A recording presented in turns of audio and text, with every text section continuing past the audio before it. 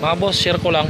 Napansin nyo po ba ang ibang signal dish antenna na mayroon ganito? Kailangan daw mga boss ng ganito para hindi mawala ang signal. Ang totoo po niyan mga boss, hindi naman ito nakakatulong para hindi mawala ang signal. Ang gamit lang nito mga boss para yung ganito hindi agad masira. Katulad nito mga boss.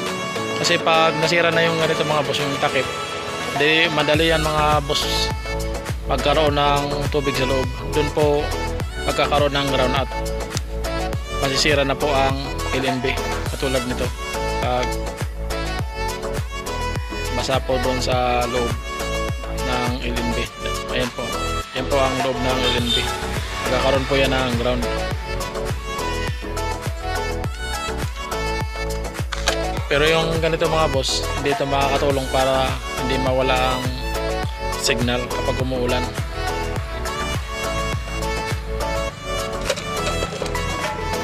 Kaya po mga boss, kahit wala nang ganito,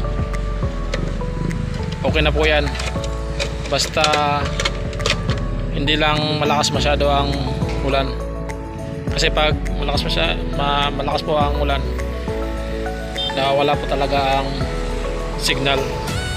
Nagwi-wake no signal po mga boss. Kaya depende na lang sa inyo mga boss kung lagyan nyo ng ganito. Ang gamit nito mga boss, dyan lang para hindi masira agad itong itong takip. Sa paglagay naman po mga boss ng LNB, hindi po dapat nakaganyan. O ganun. Dapat po mga boss nakaganyan lang.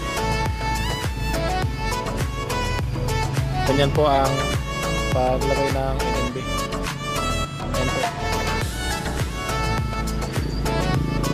Pag nasobrahan mga boss naman, mahina ang signal. Pag dito naman mga boss nakalagay, ganyan, wala yan signal, hindi yan makasagap ng signal. Kaya dapat mga boss, nakaganyan. Nakaganyan po yan mga boss.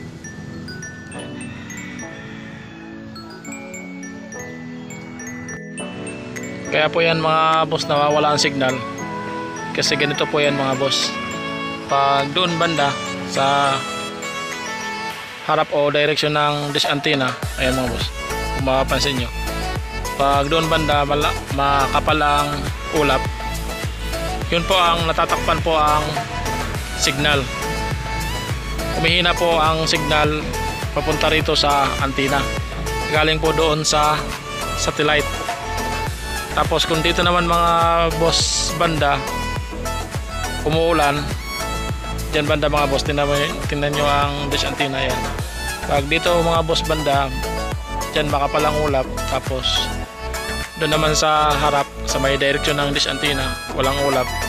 Hindi po yan mga boss mawawala ang signal. Kasi wala naman mga boss nakaharang sa signal satellite ganun po yan mga boss kaya po mga boss, nasa inyo na lang kung maglagay ng ganito. Pero yung ganitong LMB mga boss, nakadesign na po yan para talaga dyan na walang takip. Lagyan lang ng takip para hindi agad masira.